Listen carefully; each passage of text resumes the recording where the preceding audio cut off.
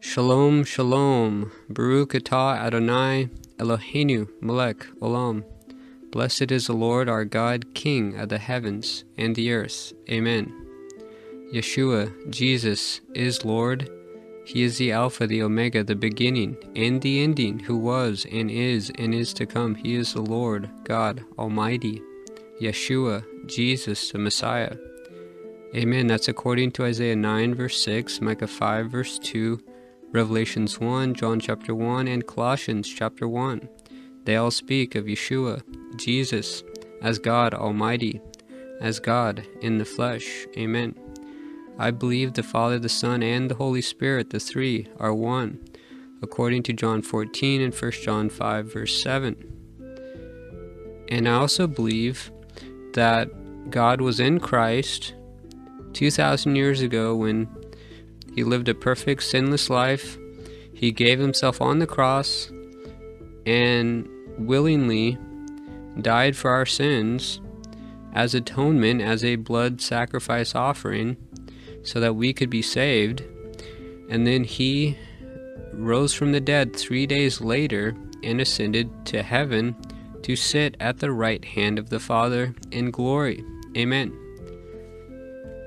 that essentially is the gospel message that God came to the earth in flesh. He, you know, was a humble servant. He lived a perfect life and he paid the price for our sin debt.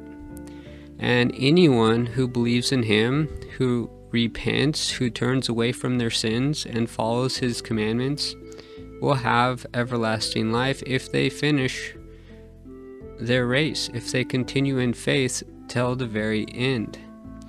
Now, in this video, I want to do a Bible study. And I want to focus on a few verses here in Matthew chapter 7 uh, that Jesus said. And I want also to use the interlineary study uh, tools uh, which basically allows access to the Greek manuscripts and allows us to understand what the Greek words actually mean. So that way we could have a better feel for what uh, was actually being said here. Now, the translation is pretty decent, um, but I think some of the meaning has been lost in translation because, well, I don't think that the words that were translated were the best words in my opinion okay? So you'll you'll see what I'm talking about here in a moment uh, once we begin to study the Greek words. Um, so yeah I mean I recommend using either the blue letter bible uh, .com or, or the app or you know something that allows you access to study the Greek and the Hebrew original manuscripts and, and what those words mean and uh, it's also good to, to compare uh, different translations uh, so that way you can get a better feel of what is being said. Because a lot of times it's hard to follow the old english in the king james bible and so i just found it helpful uh, personally when studying the bible now let's take a look at Matthew 7, verse 13. It says, Enter ye in at the straight gate, for wide is the gate, and broad is the way that leadeth to destruction, and many there be which go in thereat. Now, I don't see anything really wrong with that translation. Jesus is saying here that, you know, enter into the straight nate, the straight gate, okay? For wide is the gate and broad is the way which leads to destruction. But the interesting thing is, you know, on one hand you have a straight gate, and then on the other hand you have a wide gate. So it's like it's kind of confusing because what why why is the word straight being used here? Well, let's take a look at what the word straight actually means in the Greek manuscript, okay?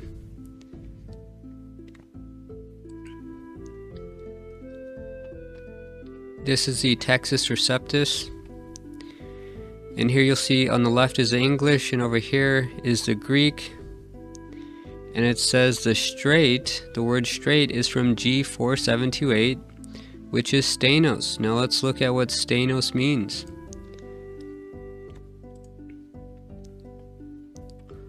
According to the Blue Letter Bible, stenos means narrow or it could mean straight.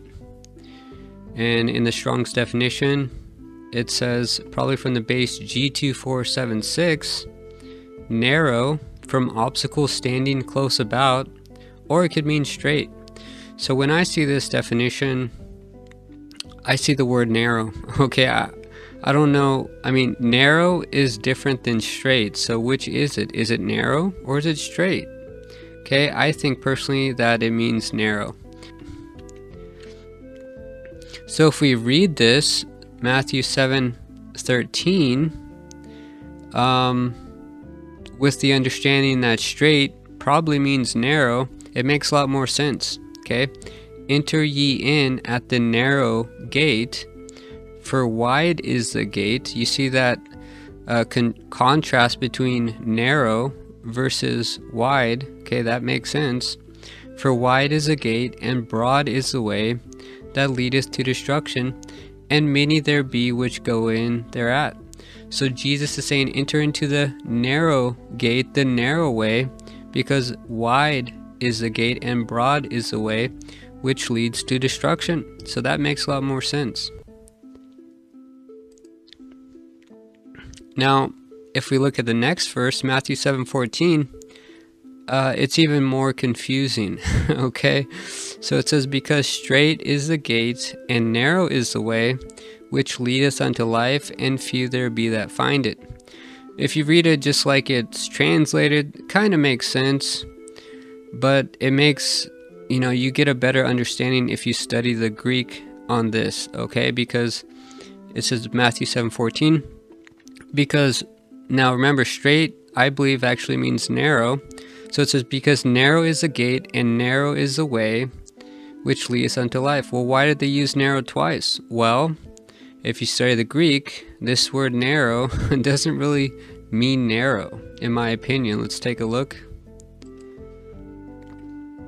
Okay, going from the Textus Receptus translation of the Greek manuscript, you see here straight is stenos, which also means narrow.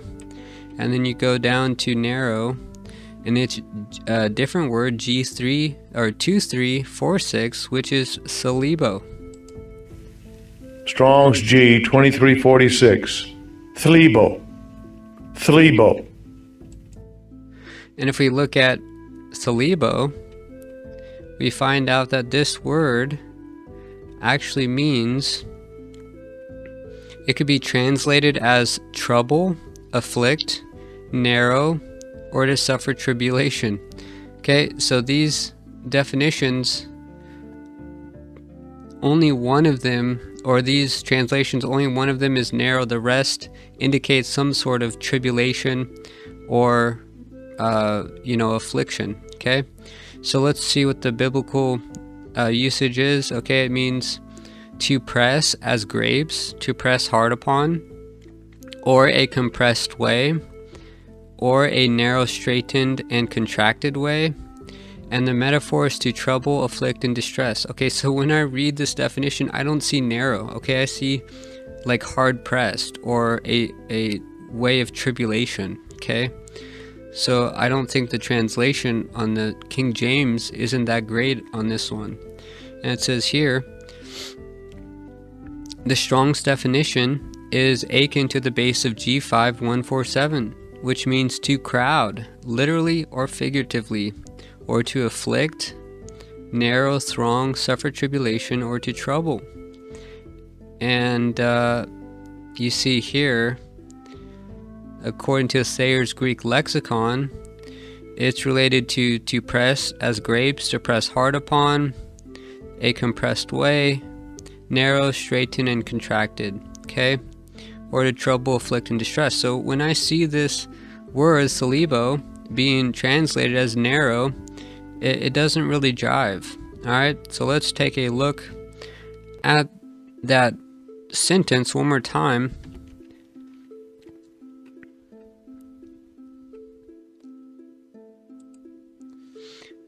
Now Matthew 7:14 if we exchange the words straight for narrow, and the word narrow for hard pressed, it makes a lot more sense. Okay, so Matthew 7:14 because narrow is the gate and hard pressed is the way which leadeth unto life and few there be that find it. So that makes a lot more sense. You get a lot more of the picture in terms of the true Christian walk. Okay, it is a narrow gate, but it's also hard pressed. Now, if you read it as the way that it was translated, you don't get any sense of it being hard pressed or full of tribulation. You just see that it's a, a straight and narrow way, which doesn't, you know, necessarily mean that it's difficult. But whereas if you use the word hard pressed, you figure out, well, it's it is difficult, okay?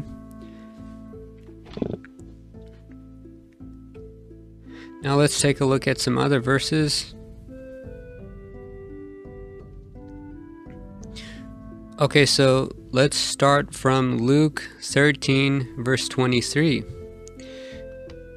Now, this is Jesus teaching, and somebody asked him, it says, Then said one unto him, Lord, are there few that be saved? And he said unto them, Strive to enter in at the straight gate, which we know now probably means the narrow gate. So strive to enter in at the straight gate, for many, I say unto you, will seek to enter in and shall not be able to. Okay, so so that you know, it, it's not really a terrible translation, but if you actually study it with the word narrow instead of straight, it makes a little bit more sense. Because if it's a narrow way, you know, it's it's harder to find. It might be a little bit more difficult than the broad way. All right, and then it says Luke 13:25 When once the master of the house is risen up and has shut to the door, and ye begin to stand without and to knock at the door, saying, Lord, Lord, open unto us, and he shall answer and say unto you, I know you not whence ye are. So Jesus is giving them a parable. And then he said, Then shall ye begin to say, We have eaten and drunken in thy presence, and thou hast taught in our streets. So, you know, Jesus is saying, you know, when the master of the house, you know, has risen up or has come and, and shut the door, then you know you begin to stand without and to knock on the door saying lord lord open unto us so jesus giving them a parable about the kingdom of heaven and he's saying that he's going to lock certain people out of the kingdom of heaven and then they say we have eaten and drunk in your presence and thou hast taught in our streets but he shall say i tell you i know you not whence ye are depart from me all ye workers of iniquity. Now, iniquity is just a fancy word of, of sin. All ye workers of sin. All right, let's take a look at that.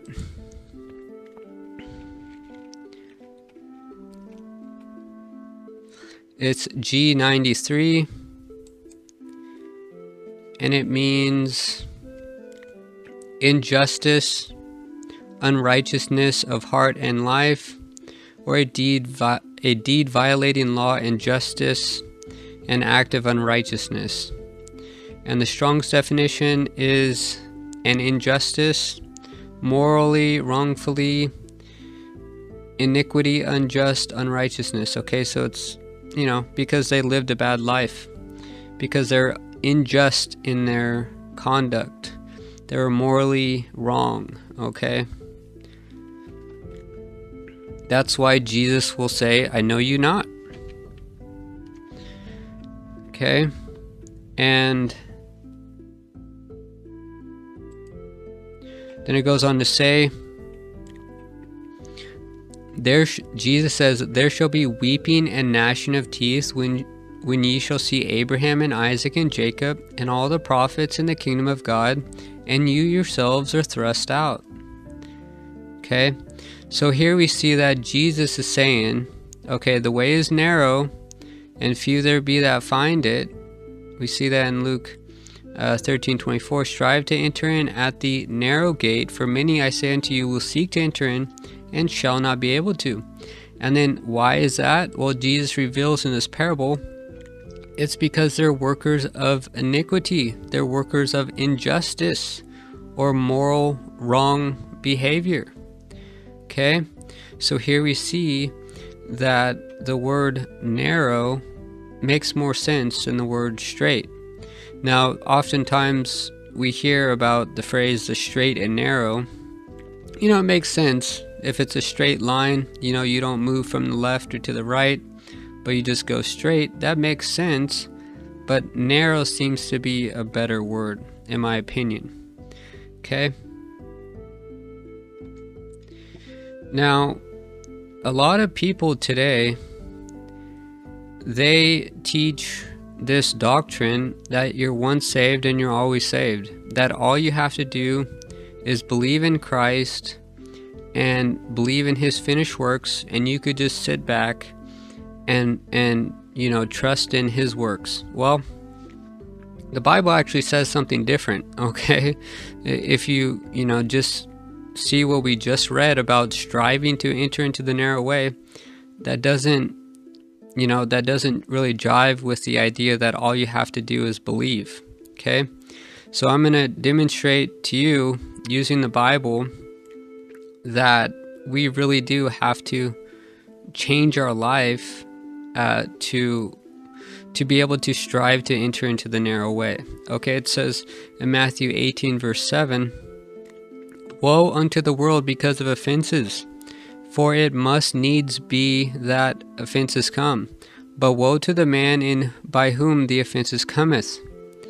Wherefore, if thy hand or thy foot offend thee, cut them off and cast them from thee. It is better for thee to enter into life halt or maimed, rather than having two hands or two feet to be cast into everlasting fire. Okay, so that's a very serious uh, statement there by Jesus. He's saying that I basically take it to mean that if your hand or your foot causes you to sin, you know, he, now he's speaking metaphorically or with exaggeration. He's saying to cut them off and cast them from you because it's better for you to enter into life or into heaven uh, you know, maimed rather than having two hands or two feet uh, and then be cast into the fire. So Jesus is saying, basically, in my opinion, you know, do everything you can to not sin because if you continue in that sin, you'll be cast into the fire. Now let's look at some of these words or translation comparisons.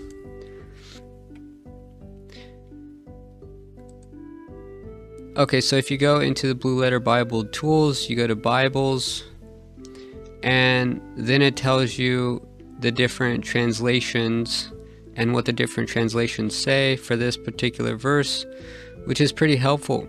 Okay? So let's let's read it in the New King James Version. If your hand or foot causes you to sin, cut it off and cast it from you. For it is better for you to enter into life maimed, let lame or maimed, rather than having two hands or two feet to be cast into the everlasting fire. Okay, so here in, in the New King James Version, they actually use the word sin. Okay, rather than in the King James Version, it just says uh, offend. They use the word offend instead of sin. So if you read the New King James translation, it makes a little bit more sense. New Living Translation says sin. Uh, NIV says stumble. Uh, ESV says sin. Uh, fall away for Christian Standard Bible, which I don't think is the best translation in this particular verse.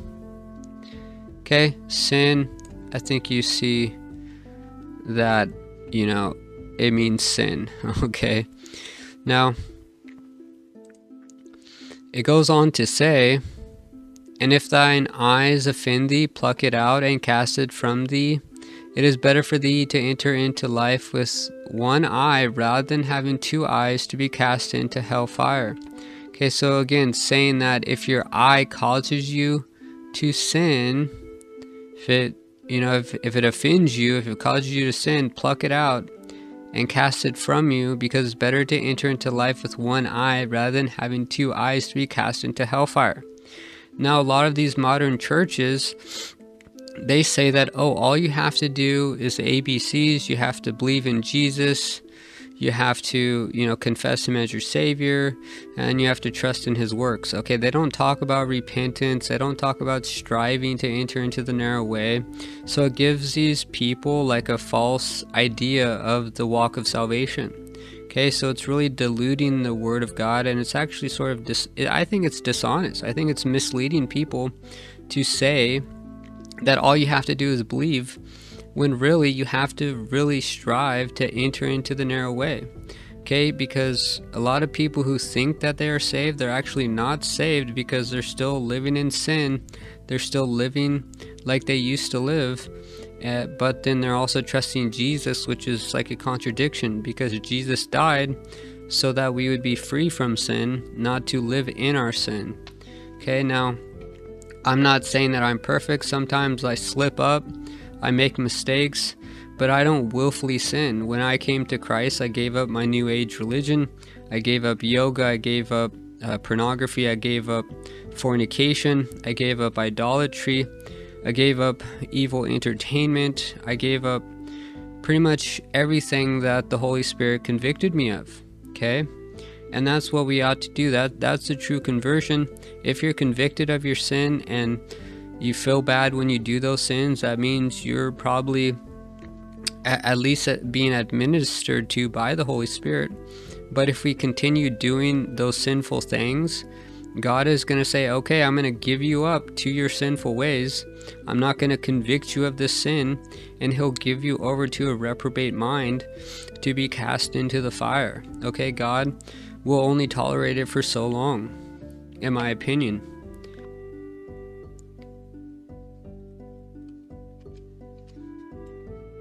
Now, I wanted to read the book of James, chapter 2, and talk about how it's not just by believing, okay? And, and, the book of James, chapter 2, clearly shows us this that it's more than just, you know, a mental assertion, uh, believing that Jesus paid it all by his works. It says, What does it profit, my brethren? Though a man say he has faith and have not works, can faith save him?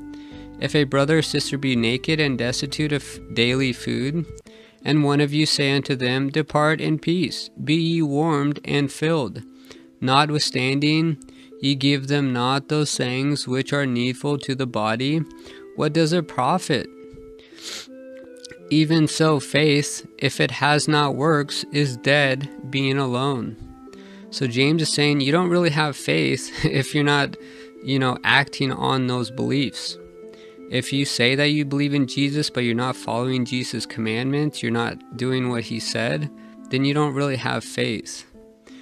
It says, Yeah, man may say, Thou hast faith, and I have works. Show me your faith without your works, and I will show you my faith by my works. Okay? So, Jesus, uh, or James, I'm sorry, the brother of Jesus, is saying, okay, someone says that they have faith. Okay, well, show me your faith without works, and I will show you my faith by my works. Okay? And James 2:19 says, "If thou or thou believest or you believe that there is one God, thou doest well or you do well. The devils also believe and tremble." So James is saying, okay, if you believe there's one God, Okay, that's good. But the devils also believe and tremble. Okay, but the devils aren't saved. But wilt thou know, O vain man, that faith without works is dead? Was not Abraham our father justified by works when he had offered Isaac his son upon the altar? Seest thou how faith wrought with works, and by works was faith made perfect? And the scripture was fulfilled which saith, Abraham believed God, and was imputed unto him for righteousness, and he was called the friend of God. Ye see then how that by works a man is justified, and not by faith only. Okay, so we have to prove our faith through our works. Now, Jesus also tells us or he gives us another parable or another teaching.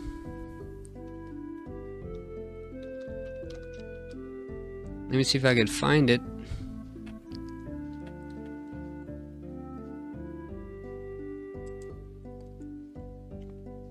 Now, this is Matthew 25, and Jesus' teaching. Let's see.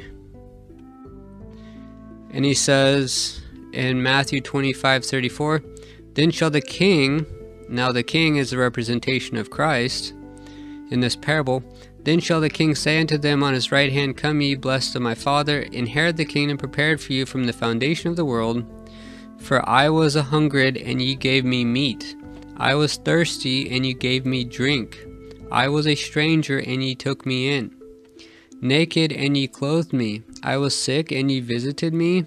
I was in prison, and ye came unto me. Then shall the righteous answer him, saying, Lord, when saw we thee a hungered, and fed thee, or thirsty, and gave thee drink? When saw we thee a stranger, and took thee in, or naked and clothed thee? Or when or when saw we thee sick or in prison and came unto thee? And the king shall answer and say unto them, Verily I say unto you, insomuch as ye have done it unto one of the least of these my brethren, ye have done it unto me. Then, sh- uh, then shall he say also unto them on the left hand, Depart from me, ye cursed, into everlasting fire, prepared for the devil and his angels. For I was a hungered, and you gave me no meat. I was thirsty, and you gave me no drink. I was a stranger, and you took me not in. Naked, and ye clothed me not. Sick, and in prison, and ye visited me not. Then shall also answer him, saying, Lord, when uh, saw we thee hungered, or thirst, or stranger, naked, or sick, or in prison, and did I minister unto thee? Then shall he answer them, saying, Verily I say unto you, insomuch as ye did it not to one of the least of these, ye did it not to me. And these shall go away into everlasting punishment, but the righteous into eternal life. Now, when he's saying that,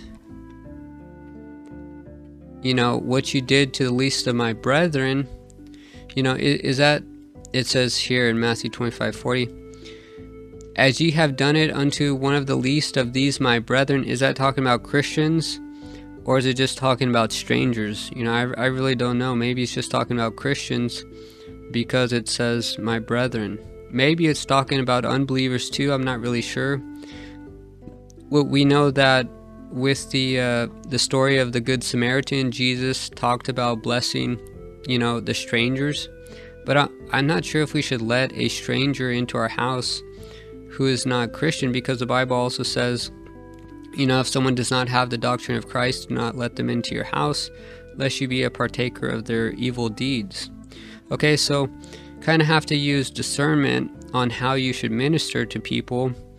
Um, but yeah, Jesus is pretty much saying that, you know, because of people's works or lack of works, they're cast into everlasting fire. It says, Then shall he say also unto them on the left hand, Depart from me, ye cursed, into everlasting fire prepared for the devil and his angels. So he's saying, because of their works, or because of their lack of works, they were cast into the fire. So here we see that salvation is not just by belief alone, but it's also about our works. Okay? Which leads me to the book of Revelations as the first three chapters, or the first uh, chapter two and chapter three, it's the letters to the churches. Okay, the the seven churches, and Jesus in each one of the letters uh, judges the churches based on their works, not by their faith, but by their works. It says, let's just take a look here at Revelations two.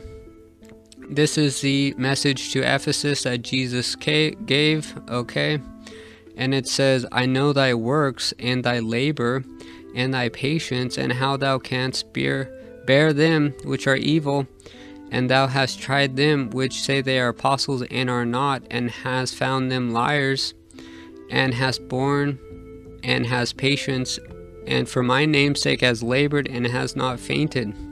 Nevertheless, I have somewhat against thee because thou hast left thy first love.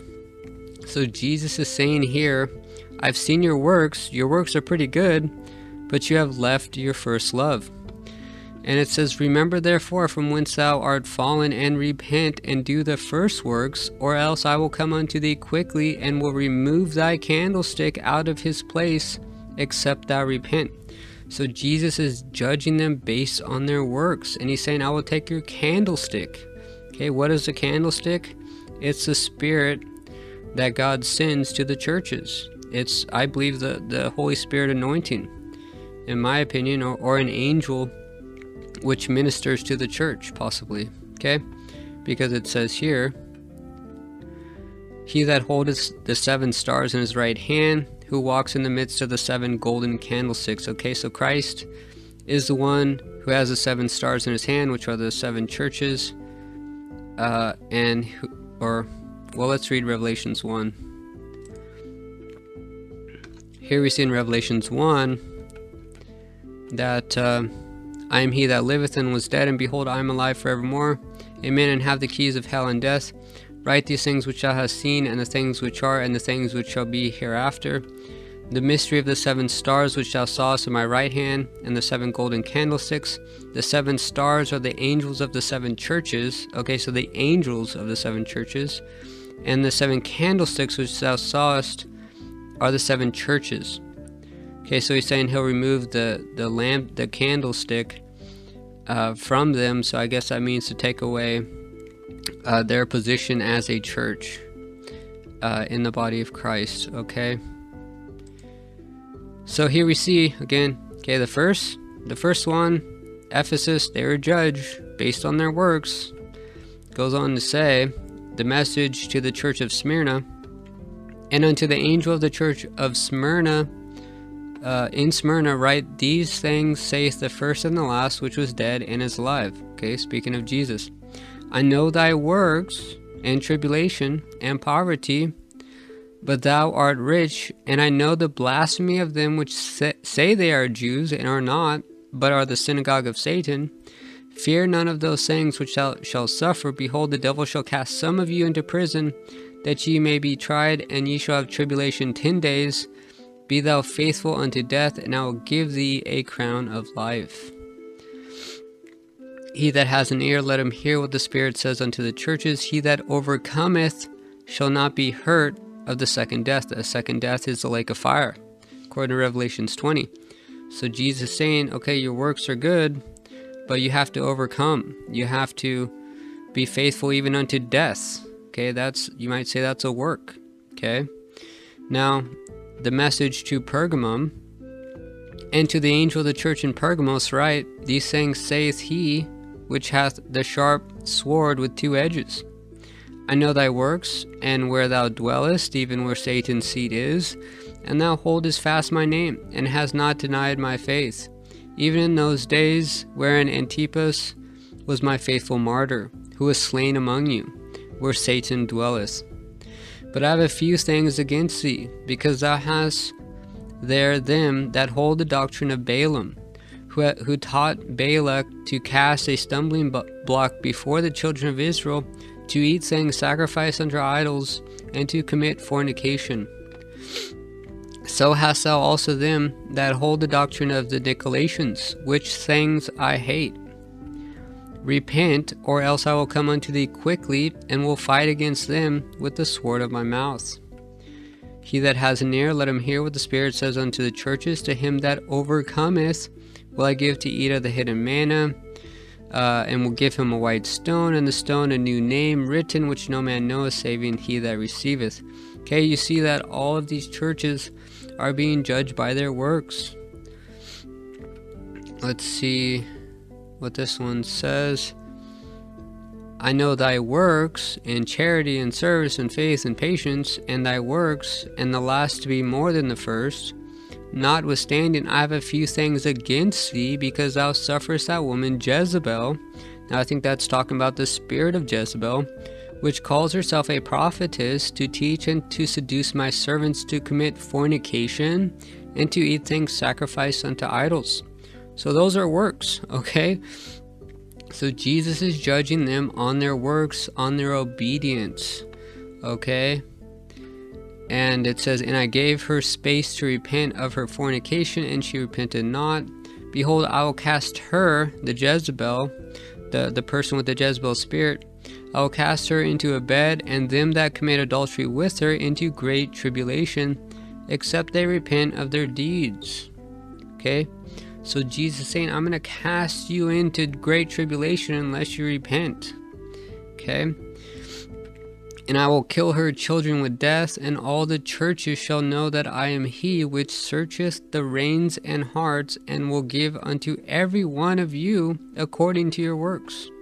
Okay, you see there, Jesus said, I will give to you according to your works. He doesn't say, I'm going to just give to you according to your faith. You know, he, he doesn't say, everybody's going to get the same thing because you all believe in me. He doesn't say that, okay? He says, according to your works. Okay? And again, he that overcometh and keepeth my works unto the end, to him will I give power over the nations. And he shall rule them with a rod of iron, as the vessels of a potter shall they be broken to shivers, even as I received of my Father. And I will give him the morning star. He that has an ear, let him hear what the Spirit says unto the churches. And you know, the rest of the churches is pretty much the same thing. Okay, God judges them for their works, tells them what they need to do to be right with Him, okay, how to adjust their life, how to repent, alright? Anyhow, I pray this was a blessing. Uh, I do recommend that you find some sort of uh, Bible app that has, you know, the interlineary. You know, if you want to do a more in depth study, and if you want to compare, you know, different translations, uh, you know, regarding different verses, it's very helpful. And, uh, you know, I, I believe that time is very short. We have to make sure that we are on the narrow path. We have to evaluate our lives, see if it matches up with the Word of God, with the teachings of the New Testament, and uh, let us pray that we are counted worthy to escape, Jesus said, uh, and to stand before the Son of Man. Luke 21, verse 36. And I believe the rapture is very soon. I hope to see you all up there. And shalom until next time. And if you don't know Jesus as your Lord and Savior, please repent, turn away from your sins, get baptized in the name of Jesus or in the name of the Father, Son, and the Holy Spirit, according to Matthew 28, and follow His commandments. And you will receive the gift of the Holy Spirit. And then you must continue in faith, in obedience, in good works until the very end. And I hope to see you all in heaven very soon. And shalom until next time. Amen.